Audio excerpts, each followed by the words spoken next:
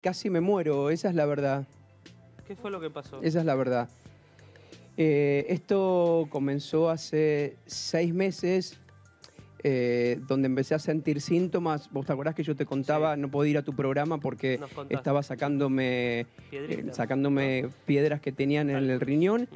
Esto me provocó una calcemia muy, gran, muy grande, la calcemia que me provocó, y unos dolores de ciático que gracias a Dios cuando hicieron las tomografías, el ciático no estaba tomado, sino iba directamente a una silla de ruedas. Eh, yo en su momento no, no conté quién me había operado por, por miedo, ¿me entendés? Y, y después cuando te das cuenta que hay una familia, que hay una, mi madre de 88 años, eh, hay amigas operadas, hay amigos operados, te das cuenta que vale la pena contarte, que- contarles que, que se puede. Yo durante 10 años eh, luché para sacarme algo. Vos me conociste antes de tener puesto esto y que era innecesario, ¿me entendés? Y, y creo que ¿Hace el 10 años capricho... fue, que eh, te pusiste las prótesis? eh, sí, no son prótesis, son? es una sustancia tóxica que tengo en el cuerpo. ¿Fueron Es con una inyecciones? sustancia tóxica. Fueron con inyecciones. En, en- en- en un prim- en el primer lugar donde lo hice fue un quirófano sobre la calle Córdoba, eh, casi llegando a 9 de julio, donde, donde no era un lugar eh, propicio para hacer esto. Y vos Ah. decís, bueno, yo soy un, un- un pibe que estoy educado bien y cuando vi tendría que haber salido huyendo de ese Claro, lugar. en el momento no, no Pero creo reaccionaste. que- Ahora, expliquémoslo bien, Mariano, para que la gente comprenda. Esto fue hace 10 años, entonces.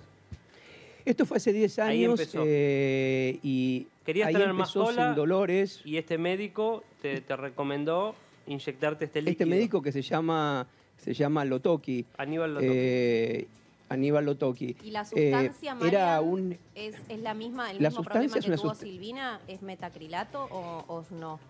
Mira, no hay, cuando vos te haces estos estudios, no hay ningún estudio que determine qué Claro. sustancia es.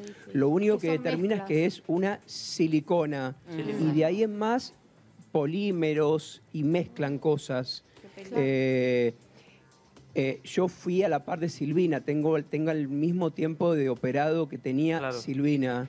Eh, No, Silvina, una de las mujeres es- más lindas de la Es Argentina. algo interesante Sí. que lo que decías al principio, y me sumo al, al ejemplo de Silvina, que nosotros nos venimos hablando hace años. Sí. A Silvina le daba mucha vergüenza contar lo, Sí. lo que le pasaba, que es lo mismo que te ocurrió a vos Claro. hasta hoy que te cansaste. Pero digo, es vergonzoso para el No, paciente, y que son mi amigo, que, y que son mis amigos ustedes. Y la verdad que cómo no voy a confiar en amigos para contarles algo que... Pero uno que, lo ve de pasó afuera, Mariano, es el- lo único que falta, que Claro, todavía que te hacen mal tras un tratamiento, el que sea, ¿no? Sí. Eh, a uno le dé vergüenza poder Vergüenza contarlo. tiene que tener el médico que, que Claro. sigue encima No, y que esto siga, que esto, conti- Sí. que esto continúe, chicos, esto continúe. Yo es una lista de, de- de primeras figuras de primera línea que se han operado con él. Mm. Y esto que hago yo hoy es contarles que durante, yo me operé hace 10 años, contarles que desde hace 8 años busco la solución en Los Ángeles, en todos lados del mundo. ¿Qué te y fue pasando suerte, en estos años con tu cuerpo? eh, Primero los cálculos, Hace ¿eso fue lo cuatro años, sí, los cálculos, hasta que un día eh, una de mis médicas de cabecera, la doctora Mariana Novak, me, me descubre una calcemia. Mm. Ahí me provocaba cansancio, estaba todo el día cansado. eh, vos sabés que trabajo un montonazo y Sí. siempre estaba cansado. Soy un tipo sano, no tomo alcohol, no, no- no tengo, ningún, no tengo ningún vicio.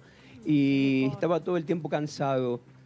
Eh, cuando me internan, eh, llegó un momento que la doctora dijo, bueno, no podemos anestesiarte y que entres al quirófano a sacarte piedras todos los días.